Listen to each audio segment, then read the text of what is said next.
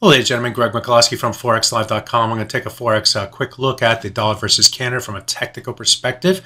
Uh, we are moving uh, down toward the lows for the day after testing a key resistance level. So let's see what those levels are and why they're so important and what we may look forward to going forward. My, uh, so let's get started. I'm looking at the uh, four hour chart and I spoke uh, to the high price that we saw in trading here today. That high price came in at 1.3535, which was about two pips short of the 50% midpoint of the move down from, uh, well, the October high it, that uh, goes back uh, back in time uh, back there uh, to the low price that we saw in the month of December. The 50% uh, again comes in at 1.3537. The high price for the day came in at 35, uh, 1.3535. So I got within two point pips, and the price sellers leaned against that level and pushed to the downside.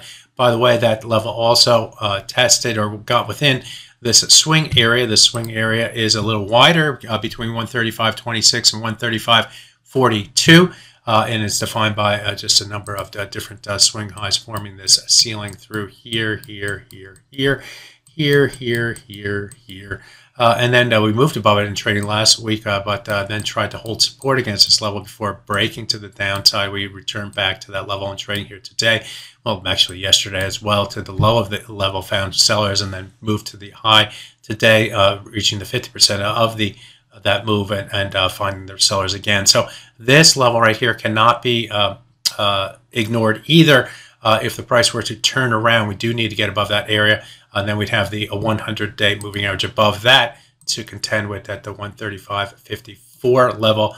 Uh, in uh, trading last week, again, the price moved above that level, but haven't been above that level uh, since going back to the month of December through here.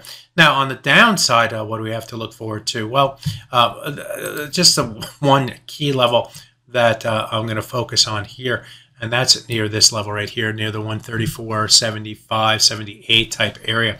And uh, you see that this green line right here, this green flat line represents a 200-day moving average. This blue line represents the 100 bar moving average on the four hour chart. And in trading last week and this week, there's been a number of different swing lows that stalled right against that blue line right there. Uh, those two moving averages are coming together again near around the 134.76 ish type level. So that's going to increase this level's importance going forward.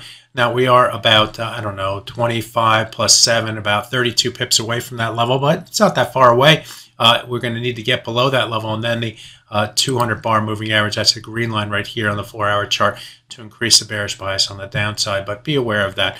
In, in between that those levels is this uh, trend line. Now we move below that trend line yesterday on its way to test the 100 bar moving average.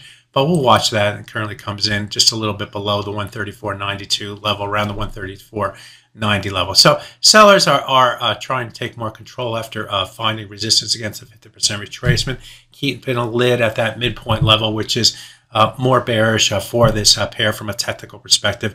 Keep that in mind, and we are moving uh, get below the 135 level, maybe look toward the 134. 90 level, and then that key 134.75 level where the two moving averages come together. My name is Greg Michalowski. Good fortune with your trading. Bye bye now.